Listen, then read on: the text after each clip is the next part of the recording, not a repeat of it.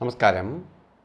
എല്ലാ N T V പ്രേക്ഷകർക്കും നിങ്ങളുടെ ഇന്ന് എന്ന പ്രോഗ്രാമിലേക്ക് സുസ്വാഗതം. ഇന്ന് ആയിരത്തി ഒരുന്നൂറ്റി തൊണ്ണൂറ്റൊമ്പതാം ആണ്ട് മിഥുന മാസം പതിമൂന്നാം തീയതി രണ്ടായിരത്തി ഇരുപത്തി നാല് ജൂൺ മാസം ഇരുപത്തേഴാം തീയതി വ്യാഴാഴ്ച. ഇന്ന് വ്യാഴാഴ്ചയാണ് ചതയം നക്ഷത്രമാണ്.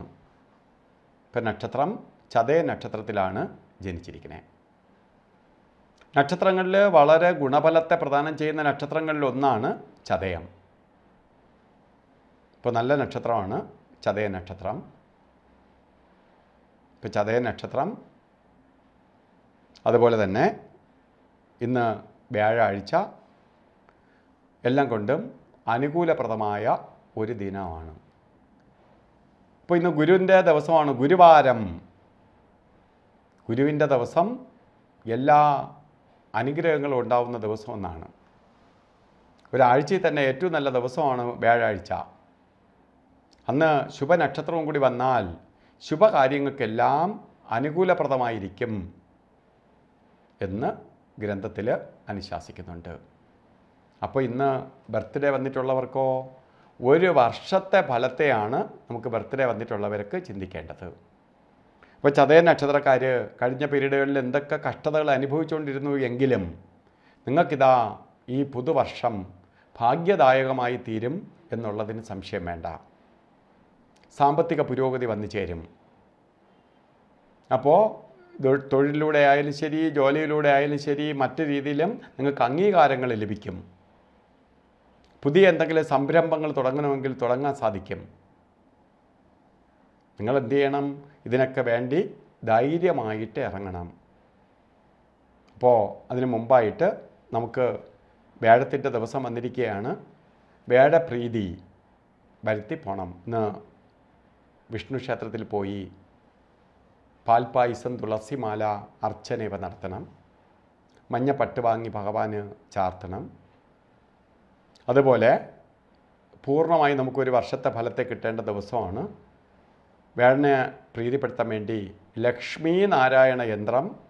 ഇപ്പോൾ ചതയ നക്ഷത്രക്കാർക്കെല്ലാം ഏഴര ശനി നടന്നുകൊണ്ടിരിക്കുന്നത് കൊണ്ട് ശനീശ്വര യന്ത്രവും കൂടി ചേർത്ത് ഒരു ദേഹരക്ഷയും കെട്ടിക്കൊള്ളുക.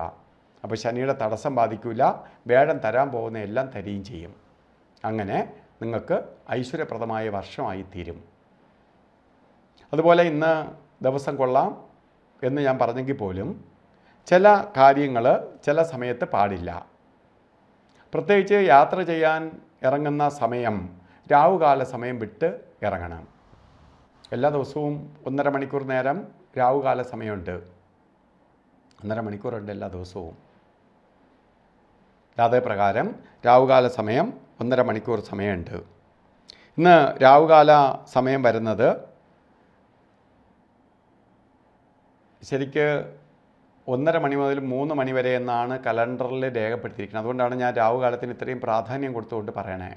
ആളിലെല്ലാം അത് നോക്കിയിട്ട് ഇറങ്ങും. പക്ഷേ രണ്ട് മണി രണ്ട് മിനിറ്റ് തൊട്ടേ രാവുകാലം ആരംഭിക്കുകയുള്ളൂ. മൂന്ന് മണി മുപ്പത്താറ് മിനിറ്റ് വരെ രാവുകാല സമയമുണ്ട്. മൂന്ന് മുപ്പത്താറ് വരെ രാവുകാല സമയമുണ്ട്. അതുപോലെ ഇന്നത്തെ അഭിജിത്ത് മുഹൂർത്തവും ഉച്ചയ്ക്ക് തുടങ്ങും. ശരിക്ക് പതിനൊന്ന് മണി അമ്പത് പതിനൊന്ന് മണി അമ്പത്തൊമ്പത് മിനിറ്റ് തൊട്ട് ആരംഭിക്കും. പന്ത്രണ്ട് മണി നാൽപ്പത്തഞ്ച് മിനിറ്റ് വരെ അഭിജിത് മുഹൂർത്തമുണ്ട്. ഈ സമയവും നമുക്ക് ശുഭപ്രദമായ കാര്യങ്ങൾക്ക് എടുക്കാം. പക്ഷേ എടുക്കാൻ പാടില്ലാത്ത രണ്ട് സമയങ്ങളാണ് ഗുളികന്റെയും യമകണ്ഠയും യമകണ്ഠന്റെയും കാലഘട്ടം. ഇത് നമുക്ക് പ്രകൃതിയിൽ ഏറ്റവും ബ്ലോക്കായി ഏറ്റവും നെഗറ്റീവായി നിൽക്കുന്ന സമയമാണ്. ഗുളികൻ നോയിക്കൊണ്ടിരിക്കുന്ന സമയം യമകണ്ഠം നോയിക്കൊണ്ടിരിക്കുന്ന സമയത്ത് ഓരോ കാര്യത്തിന് ഇറങ്ങിയാൽ വിപരീത ഫലം വരും. ഉദാഹരണം പറയുകയാണെങ്കിൽ നമ്മൾ ട്രാഫിക് ജാമ്യം നിൽക്കുന്ന നമ്മൾ അതിനെ ഓവർകം ചെയ്ത് പോയാൽ എന്ത് ചെയ്യും? വലിയ ആക്സിഡന്റ് ഉണ്ടാകും ഇപ്പോൾ സിഗ്നലിൽ പെട്ട് നിൽക്കുന്ന നമ്മൾ സിഗ്നൽ ക്രോസ് ചെയ്താലും ആക്സിഡന്റ് ഉണ്ടാവും. എന്ന് പറഞ്ഞതുപോലെ ആ സമയം നമ്മൾ വെയിറ്റ് ചെയ്യണം. ഈ രണ്ട് സമയങ്ങളാണ് ഒമ്പത് മണി പത്തൊമ്പത് മിനിറ്റ് തൊട്ട് പത്ത് മണി അമ്പത്തി മൂന്ന് മിനിറ്റ് വരെ ഗുളികന്റെ സമയവും യമകണ്ഠകാല സമയം രാവിലെ ആറ് മണി പത്ത് മിനിറ്റ് തൊട്ട് ഏഴ് മണി നാൽപ്പത്തഞ്ച് മിനിറ്റ് വരെയും. ഈ രണ്ട് സമയങ്ങളും എടുത്തു ചാടി ഒരു കാര്യത്തിനും എടുക്കരുത്. ഇന്നത്തെ ദിവസം ഓരോ കാര്യത്തിന് ഇറങ്ങുമ്പോൾ നമുക്ക് കൂടുതൽ ഭാഗ്യം സിദ്ധിക്കാനും ഒരു തടസ്സവും കൂടാതെ എല്ലാം കിട്ടാനും നമുക്ക് കൂടുതൽ ശോഭിക്കാനുമായിട്ട് എന്ത് ചെയ്യണം? മഞ്ഞ കളറിലുള്ള വസ്ത്രം അല്ലെങ്കിൽ മഞ്ഞ മിക്സ് ആയിട്ടുള്ള കളറ് നിങ്ങൾ വസ്ത്രധാരണത്തിൽ ഉൾപ്പെടുത്തണം. അത് നിങ്ങളിലേക്ക് ഭാഗ്യം കൊണ്ടുവരാൻ സഹായിക്കും.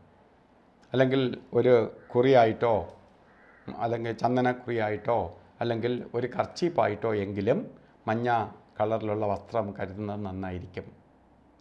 അപ്പോൾ ഈ ദിവസം നിങ്ങൾക്ക് ഗുരുവിന്റെ കൃപയാൽ ഭാഗ്യദായകമായി തീരട്ടെ എന്ന് സർവേശ്വരനോട് പ്രാർത്ഥിച്ചുകൊണ്ട് നിർത്തുന്നു. നന്ദി നമസ്കാരം.